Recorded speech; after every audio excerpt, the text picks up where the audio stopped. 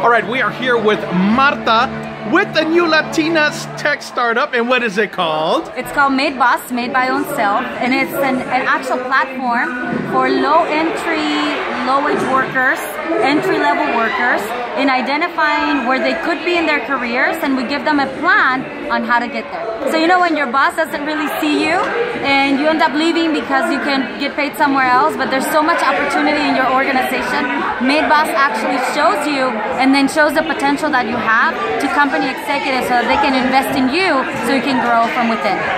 Wow, and when did you launch this beautiful Latino empowerment platform? So it really is for anyone, but it so happens that for the most part, people working in low wage jobs happen to be Latinos.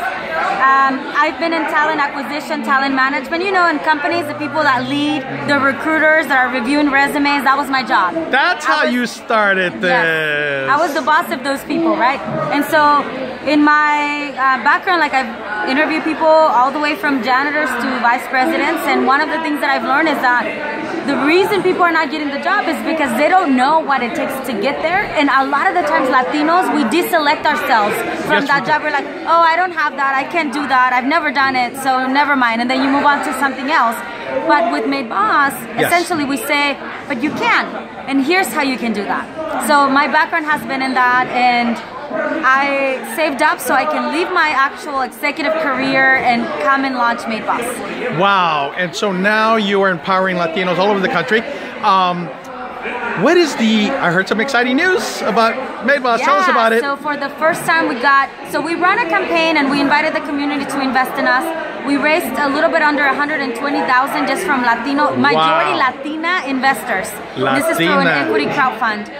That led us to build what is called the minimum valuable product, which means yes. the actual you know product that people can start using. Exactly. And then from there, we got our first venture capital firm to invest. Se llama Camel Camelback Ventures, and they're based out of New Orleans. So we're one of uh, one of their cohort invested companies, Good. and they're our first VC to invest in us. Wow! And so, what does that mean in layman's term? And when can we see change, new changes happening? Awesome. So what it means is that if you look at the big spectrum of things, there are less than 1% Latinas that receive investment. I'm one of those.